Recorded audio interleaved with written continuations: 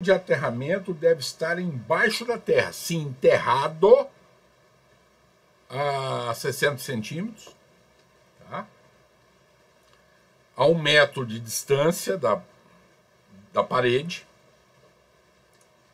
enterrado. Ou, se houver as hastes, pode ser somente ela, somente a haste não. De jeito nenhum. O anel pode ser só ele, a haste não pode ser só ela, não.